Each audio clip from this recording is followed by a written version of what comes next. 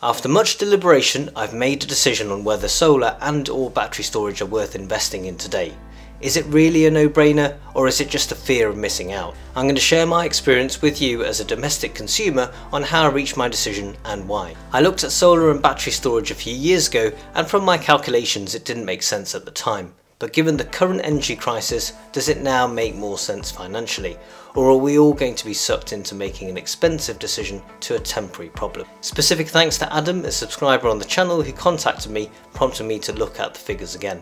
I've spent several hours creating a spreadsheet to help me make an informed decision if solar and or battery storage is a viable option for our household. I suspect this will be a useful tool for many people who are considering the same and I'll be talking you through how to use it and a few other things to consider in addition to just plugging in the numbers and looking at the payback period and return on investment.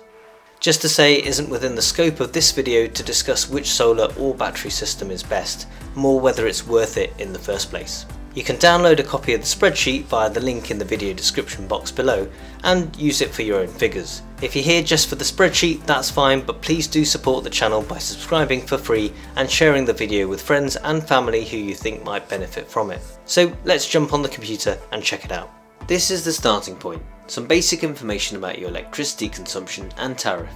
If like me you're on a time of use tariff like Octopus Go, you can put in your peak and off-peak consumption data and prices here. You can find historical peak and off-peak electricity consumption data and your current electricity unit rates from your energy provider's online account. It might seem a bit cumbersome finding all the data to input, but it's commonly known that garbage in means garbage out.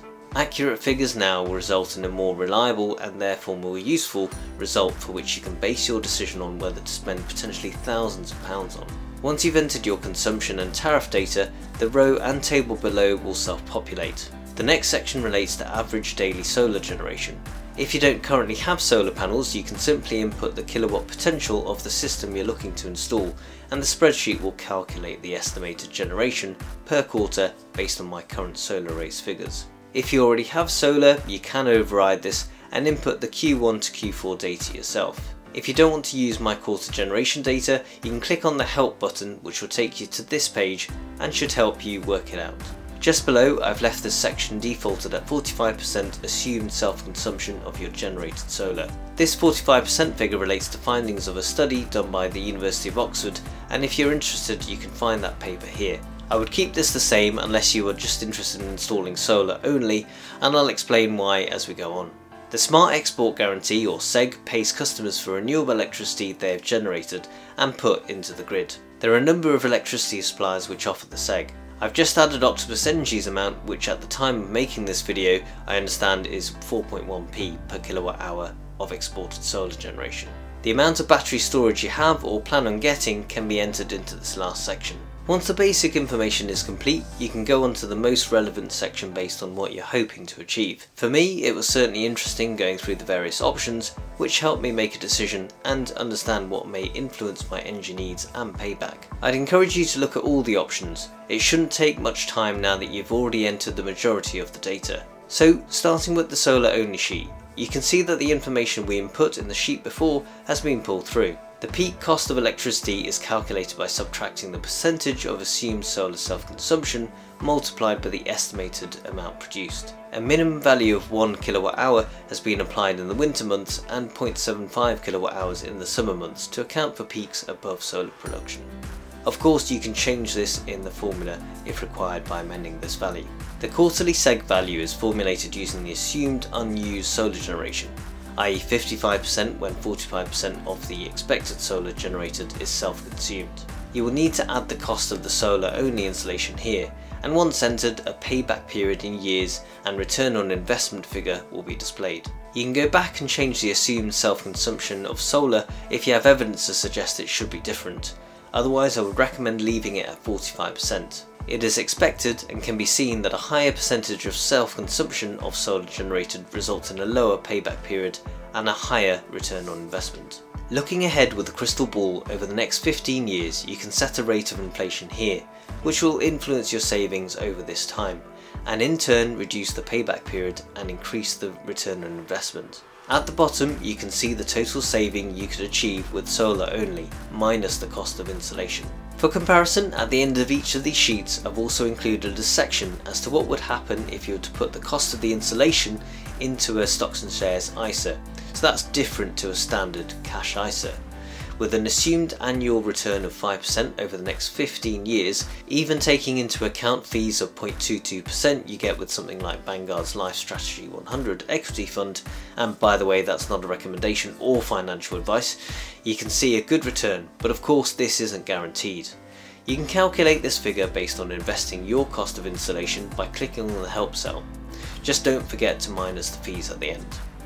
With battery only, again you can see our battery storage in kilowatt hours been pulled through. We have a new section labelled efficiency loss. I've chosen to leave this at 10%.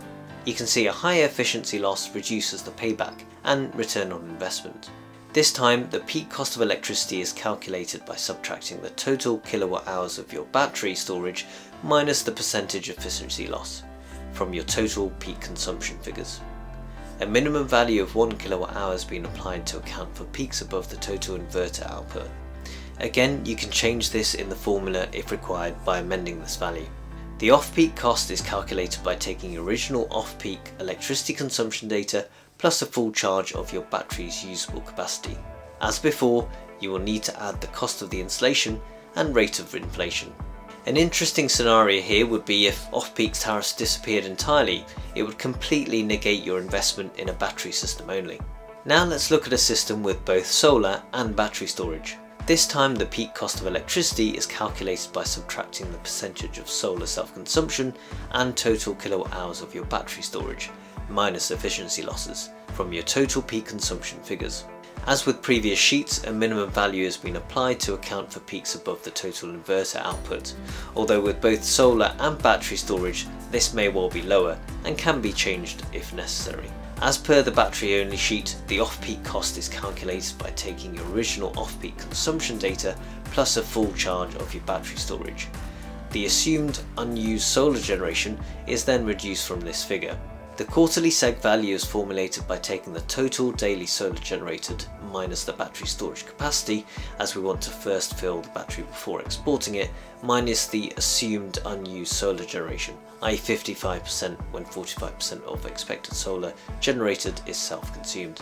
You can see if we were to instead invest the cost of the installation in a stocks and shares ISA, at the end of 15 years this figure would have compounded significantly. Albert Einstein once said compound interest is the eighth wonder of the world, and I can now see why.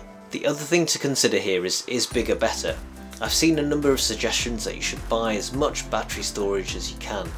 Well, it's only useful if your baseline electricity consumption requires it. You can see increasing the storage capacity and therefore the cost significantly increases your payback period and reduces your return on investment. With most systems you can always retrofit additional battery storage capacity should your electricity consumption habits increase. The next two sheets are personal to my current setup but I thought I'd leave them in if anyone is in a similar situation.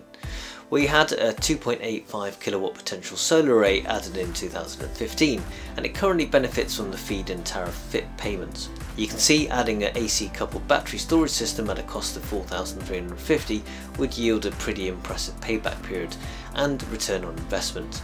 Conversely, adding an additional solar array and battery storage system at a cost of £8,999 produced an increase in the payback period and reduced the return on investment.